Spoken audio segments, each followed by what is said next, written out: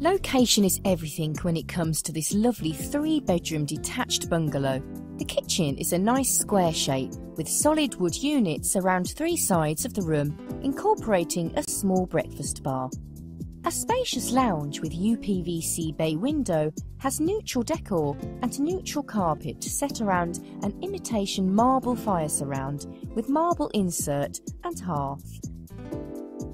Set at the rear of the property, with views to the rear yard, the main bedroom has UPVC window, carpet and neutral decor.